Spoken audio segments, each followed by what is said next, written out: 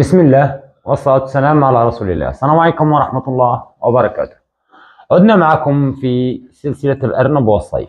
اليوم إن شاء الله راح نشوفوا مشكلة أو معضلة ما يتصادفها المربي في هذا الفصل مع هذا الحيوان. المشكلة تتمحور في عدم استهلاك الأرنب للغذاء ولا التوقف. الأرنب عن استهلاك العلف. اللي هذا كان لاحظته في من خلال التعليقات سؤال يتكرر بكثرة.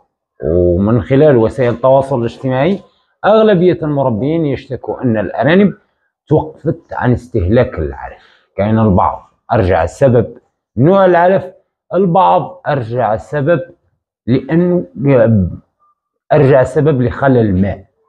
المشكلة يا صديقي سهلة وبسيطة. مع ارتفاع درجة الحرارة الأرنب يحبذ الماء عن الأكل.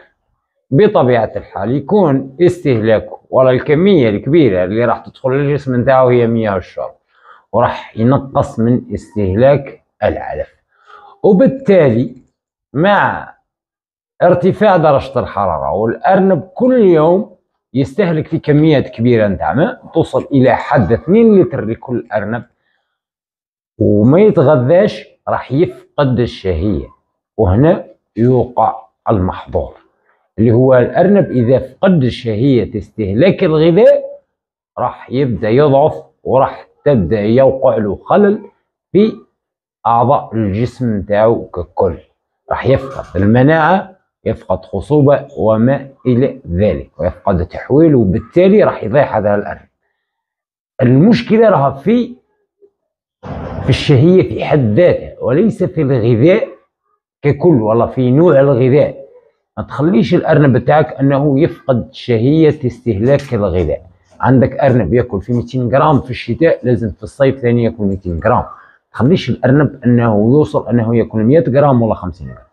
بطبيعة الحال كل ما قل استهلاك الغذاء للوجبة الأساسية هنا وين الأرنب راح يتلقى مشاكل كبيرة؟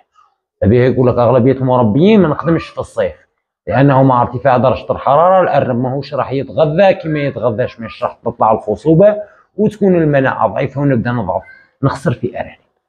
هنا الخلل وين؟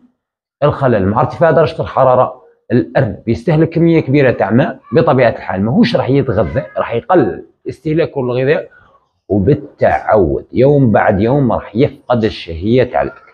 وهنا وين يبدأ يضيع الحل سهل وبسيط. اولا نقسم الحل ولا هذه المشكلة إلى قسمين. القسم الأول المسبب هو ارتفاع درجة الحرارة.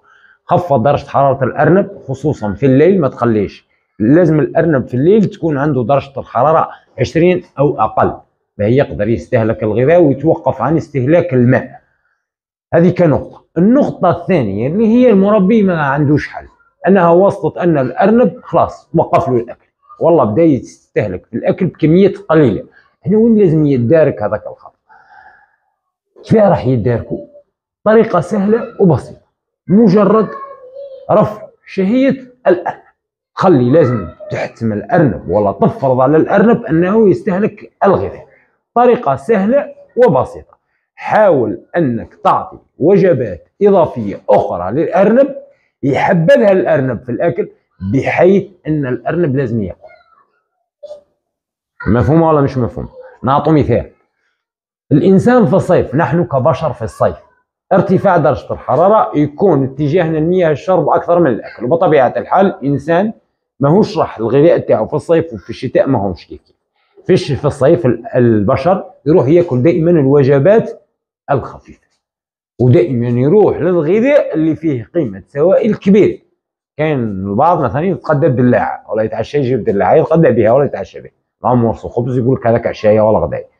لأنه ما يقدرش يستهلك غذاء ثقيل. مع ارتفاع درجة الحرارة راح تجيني ارتفاع درجة الحرارة وتبدأ تنقص له الشهية بطبيعة الحال. راح يروح للأغذية الخفيفة قبه يقتات ويعيش فقط.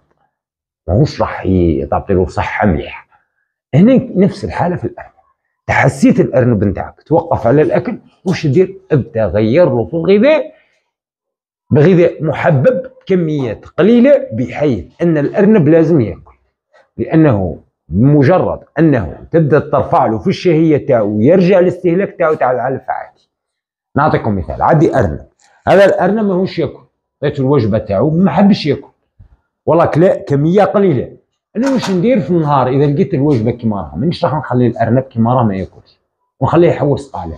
نسي نعطي له محفز باه يأكل.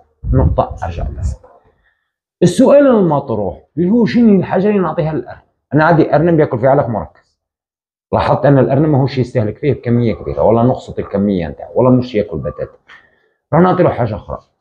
لأن كل ما تتغير الغذاء الأرنب عنده حب الاكتشاف يروح يشوف هذا الغذاء شهني وكاين بعض الأغذية اللي يحبها الارنب قاتل العلف المركز. كاين بعض الأغذية اللي يحببها الارنب هنا نروح نعطي له هذيك الأغذية بكميات قليلة بحيث أنني نرفع له في الشهيه من الأغذية اللي تقدر تعطيها الارنب وترفع الشهيه هي كما نقولوا حنا الحوايج الخضراء بصفة عامة. مثلا مانيش عارف معدنوس أه صفصفة أه كما نقولوا القرط أه تبن حوايج كيما هيك اللي تكون هي أصلا غذاء للأرنب مي غريبة نوعا ما على العلف ماهيش كيما العلف. راح يروح للارنب يبدأ يستهلك فيه. حنايا ماناش نعطلو فيها كغذاء نعطلو فيها كرافع شهية فقط. إذا ما صبتش تقدر تعطي له خبز اليابس. معروف أن الخبز اليابس يحبه الأرنب.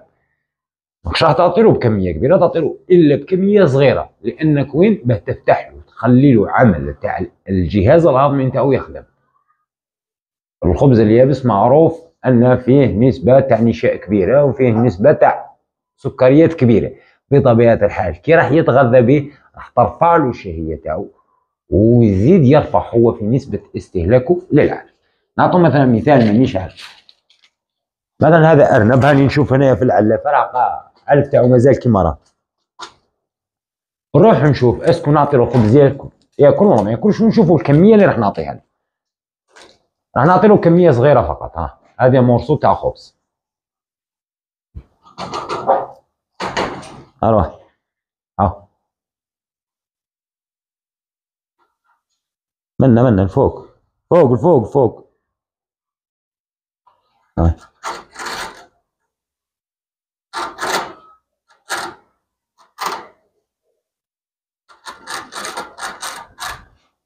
دوكا راه وقت الظهيرة. دركا درجة الحرارة حاليا راح تقدر 40 درجة.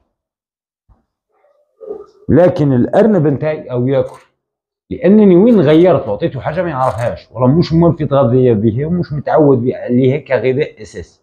هنا وين راح نفتح له بها الشهية؟ فقط. شوفوا أرنب أخ ها.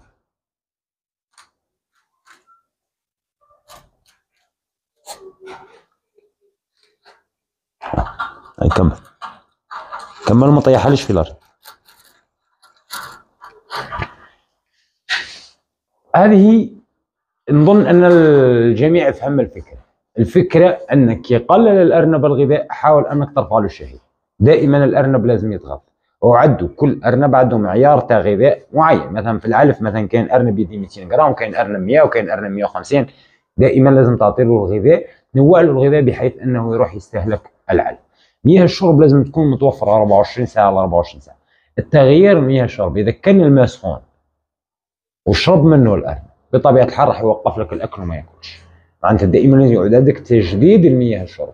دائما حاول أنك تجدد ماء الشرب مرتين في اليوم جدوا دائما مع وقت الظهيرة وجدوا في في المساء ولا في الليل.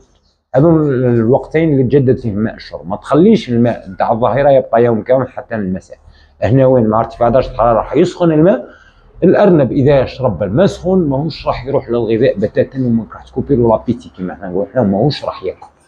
هنا دائما لازم تغير له وتخليه ينتعش اسي تعطي له وجبات أخرى تعطي له ورقات تاع معدنوس تعطي له مانيش عارف قطع صغار تاع جزر.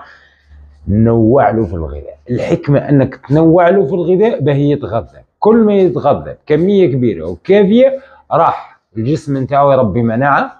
وماكش راح تلقى معاه مشكلة في الصيف في الإجهاد الحراري.